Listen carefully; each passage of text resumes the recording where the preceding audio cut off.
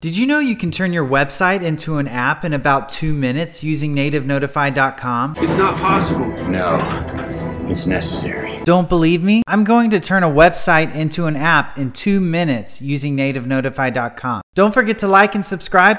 Let's get started. Your first step is to go to nativenotify.com. Click this sign up free button. It's free to sign up. There's no credit card required. That should take you to a page like this. You'll want to click this create an app button click website to app. That'll take you to this page. You'll want to make sure you have Node.js installed on your computer. If you don't already, you can click this link here to install Node.js. You'll also want a code editor installed on your computer. Visual Studio Code is a good one. It's what we'll be using in this video.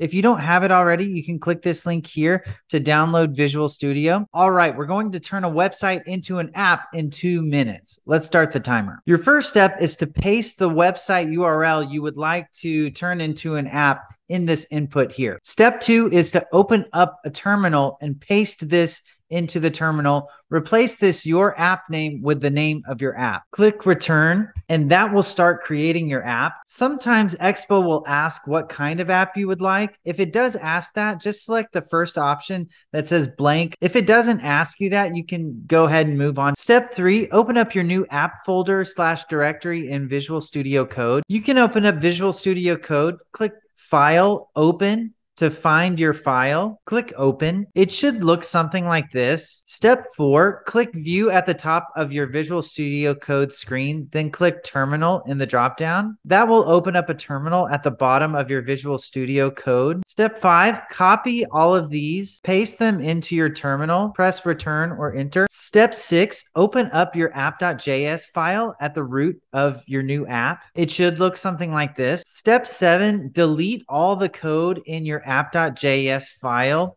and replace it with this code here. Paste your code in here, and your app is already built. You've officially already turned your website into an app. Let's see how long that took. It looks like we have some more time. Let's actually see what the app looks like. To see what the app looks like, you can click this link here. You can download this app called Expo Go. It'll let you see your app on your actual phone. To see what your app looks like, you can say npx expo start in your visual studio terminal it'll open up something like this if you want to see it on an android phone you'll need to scan this code right here if you want to open it on an iOS phone, you should follow the instructions in the app. I'm going to open up my phone on an Android emulator on my computer so you can see what it looks like. If you would like to do that, you'll need to download Android Studio in order to create an Android emulator. I've already done that.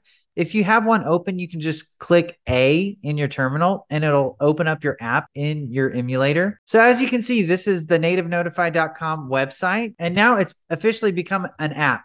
It comes with a notification inbox here, which once we send notifications to ourselves, they'll show up here. Now that our app is open, let's go ahead and send ourselves a push notification. So step three, this is my test title. This is my test message. Let's send ourselves a push notification.